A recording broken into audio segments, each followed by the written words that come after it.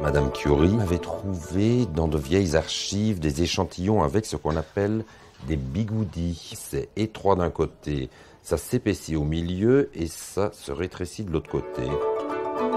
Ils ont été faits spécialement pour nous avec une cordelière autour. Donc c'est un côté un, un, peu plus fort, un peu plus graphique.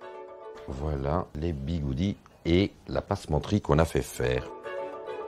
Chaque modèle euh, a eu son développement spécifique. On a le même esprit sur noir où le lien est différent, même le trèfle est un peu différent. On en a fait des dorés aussi qui sont sur d'autres vestes. On en a mis sur des pantalons aussi sur le côté.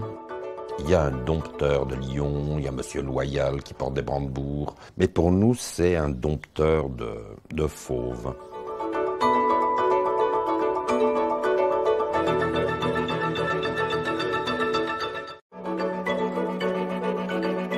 La robe, elle revient de l'essayage. Il n'y a pas beaucoup de retouches apparemment. J'ai des finitions à faire, euh, la fermeture à coudre et puis des petits points. Alors ça, ce sont des robes qui sont tressées à la main. C'est le même tissu qui va du haut jusqu'en bas. C'est les mêmes bandes. Et on fait un canage, c'est-à-dire euh, on met euh, des tissus en chaîne et d'autres en trame, ça fait des losanges. Et on a la forme des corps des années 50. Une poitrine un peu pointue, serrée un peu là et comme ça. C'est du tulle de soie qui a tout été dégradé euh, à la main. Cette bande-là, elle part très foncée par le bas, elle s'éclaircit. Et là, si on la suit, elle part comme ça. Elle devient très claire. Là, il y a 22 dégradés différents. Et là, dans la petite là, il y a 7 dégradés différents. On a mis 5 jours à faire seulement le, le dessus.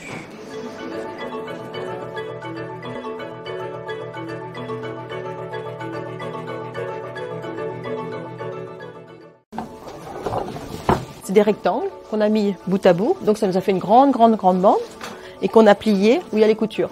Et après on plie là, une fois là, une fois là, une fois là, une fois là. En bas c'est un cône qu'on a mis sur une base de tulle. Ça va donner ça. Ça c'est une robe tout en lamé, plissée avec différents tissus, aussi bien dans la jupe que dans le corsage. Il est plissé et drapé le corsage. Il y a un nœud. Et en dessous on a un jupon qui est plissé aussi. Alors à côté c'est un organza avec du lamé dessus. Il y a une jupe qui est entièrement plissée avec plusieurs coloris de tissu. Et ensuite, on a la grande cape. C'est 300, combien volants 320. 320 cercles qui sont euh, mis bout à bout pour faire ça. Et la jupe elle va être ouverte devant. Quand ça va marcher, ça va s'ouvrir. Et la grande cape va suivre.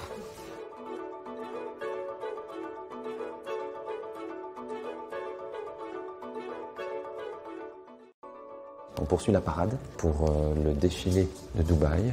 Voilà, donc on se retrouve ici avec une petite combi short. Tout est brodé d'un vermicelle de paillettes assez euh, lâche, puis de temps en temps resserré, qui forme en fait des profondeurs et des ombres.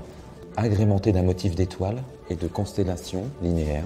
Quand on le regarde de près, on voit que cette nuit étoilée, c'est un peu l'heure bleue, la nuit qui arrive avec des notes justement bleutées dans le noir. Après, ça va être le deuxième modèle. Tout ce que vous voyez dans les motifs colorés sont peints.